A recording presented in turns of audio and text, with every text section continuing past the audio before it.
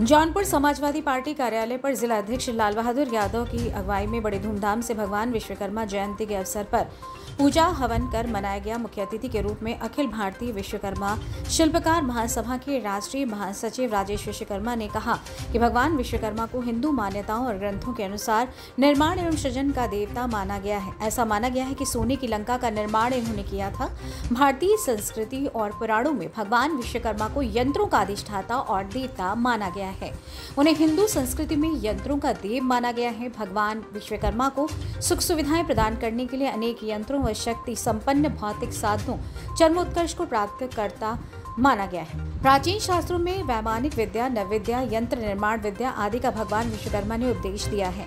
माना जाता है कि प्राचीन समय में स्वर्ग, लोक, लंका, द्वारिका, हस्तिनापुर जैसे कई नगरों के निर्माण करता भी भगवान विश्वकर्मा के ही थे। भगवान विश्वकर्मा के अनेक रूप बताए गए हैं। उन्हें कहीं पर दो बाहु, कहीं चार, कहीं दस बाहुओं तथा एक मुख, कहीं पर चार मुख व पंचमुखी के साथ दिखाया गया है। आज भगवान विश्वकर्मा की जयंती पर यह संकल्प लेने की ज़रूरत है कि देश की पुरानी परंपराओं को खत्म करने वाली भाजपा सरकार को देश से उखाड़ फेंकने की ज़रूरत है। पूजा समारोह में मुख्य रूप से हिसामुद्दीन शाह, राकेश मौर्य, हीरालाल विश्वकर्मा, सोचन राम विश्वकर्मा प्रवक्ता राहुल त्रिपाठी, राजन यादव, दीपचंद राम श्रवण राधेश्याम विश्वकर्मा, लालजी विश्वकर्मा, कैलाश विश्वकर्मा, पूनम मौर्य, गुलजीत विश्वकर्मा शिव कुमार विश्वकर्मा, सुभाष पाल, अभिषेक यादव, विकास यादव, धर्मेंद्र सोनकर, जगदीश विश्वकर्मा, सोनी यादव, शबनम लाल आशीष विश्वकर्मा, कैलाश विश्वकर्मा, प्यारेलाल विश्वकर्मा, कमलेश बिंद आदि लोग उपस्थित रहे।